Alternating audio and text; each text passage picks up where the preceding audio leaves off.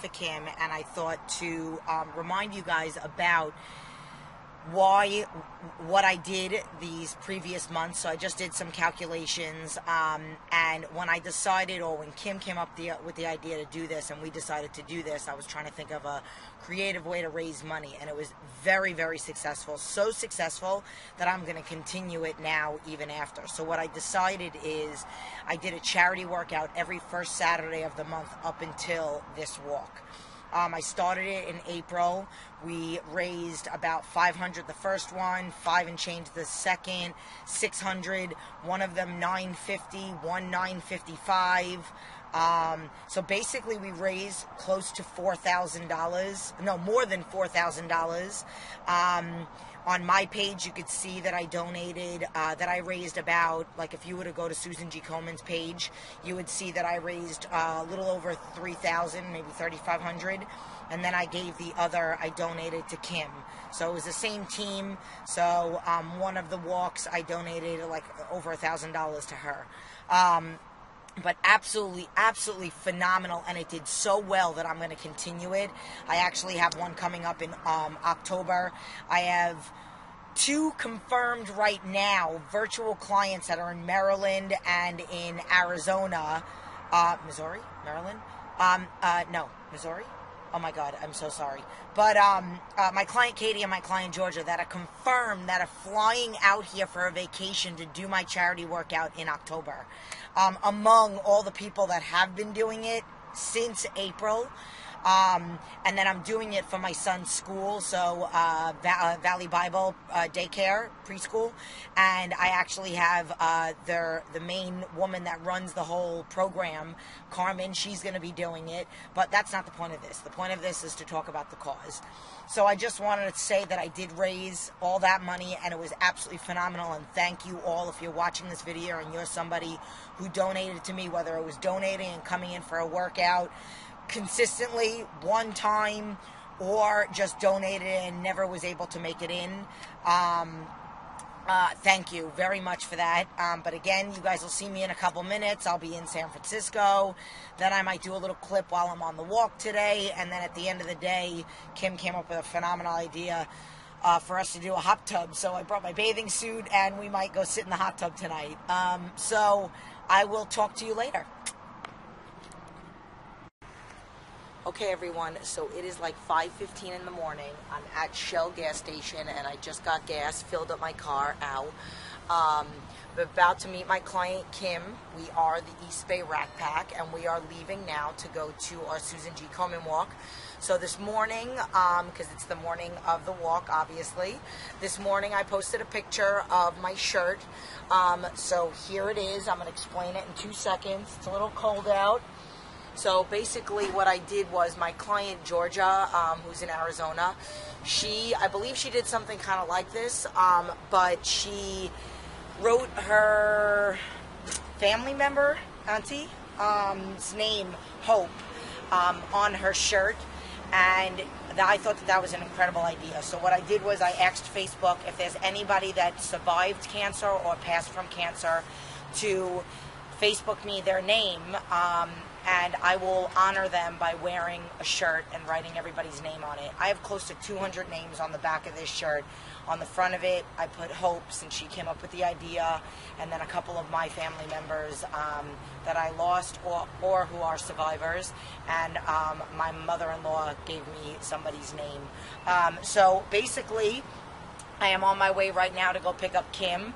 I'm going to take another quick little clip video of all the people, and it is 20 miles a day for three days, and we are staying in the city. Whew, feet hurt already just thinking about it. But I'm thinking it's a walk, not so bad. I run every day, but we'll see. So, uh, thank you very much for watching this, um, and I'll see you in the next video. Okay, so I know it's a little dark, but I just um, thought I'm sitting in front of the studio and I'm waiting. You're all listening. Say that again. No, I'm not gonna say that again. Hey, y'all! You're going to be walking on the. We're here! Look Look at that! Me Me and Miss Kimmy. Yay!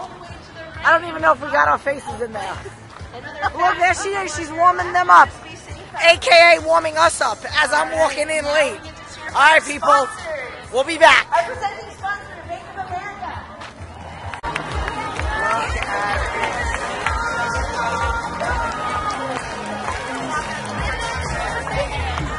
Traffic right now.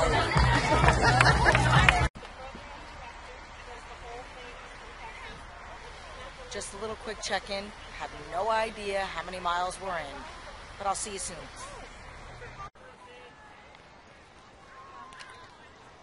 Okay, people, we are 8.7 miles in. We'll see you in a little while. Okay, people, we're at 10 miles. Beautiful scenery. Porta potties in the back. All right, I'll let you see it. There it is. Look at how pretty. It's so pretty. It's so pretty. Halfway done. Bye. Okay, people, we are at the Golden Gate Bridge. We are about to walk over the bridge. I think we're at 15 miles right now, or by the end of it, we'll be at 15 miles because we just ate our pre packed lunch. Uh, Kim had um, broccoli and chicken, and I had low sodium turkey and oatmeal. And um, that was at 12 miles. And then they said there's another stop after the bridge, which is at 15 miles. So I'm assuming the bridge is three miles. So peace. Just about at the ferry, taking a little chicken breast snack.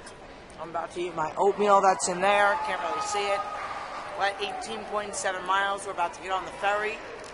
And then we are going to walk another 1.3, fast math, 1.3 miles to go to the camping ground. And then since I am staying in a hotel, Kim and I, because of my Crohn's disease and my special needs and my own food, we're not actually camping, so we are going to take a shuttle back to my car. So we're going to take our little nap, nap, a little rest right now. I think I felt some chicken. Did I have some chicken the whole time I was talking? Oh, probably did, but it's okay. I'll smile at some of my teeth. Okay, talk to you guys in a little bit. Okay, so we just got off the ferry. We are done with our 18.7 miles. We technically, if we were staying and camping, we would have to walk another one point. You think I don't know you back there, you fool.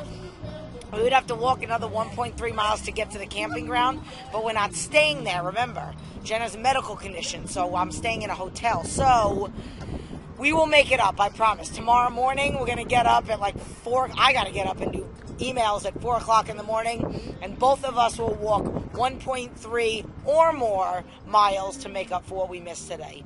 So we're about to get in a taxi and go back to the hotel. I'll do a quick little video so you can see us chilling in the jacuzzi because both of us have busted hips, but we do it for cancer, baby. Okay, we are on the ferry now. Um, I don't I don't know if you can see it, but yep, we are. And then we have to get, just like I told you in the last video, we're exhausted. Then we have to walk another 1.3 miles to get to the camping ground, hop on a shuttle to go to the hotel. See you at the hotel.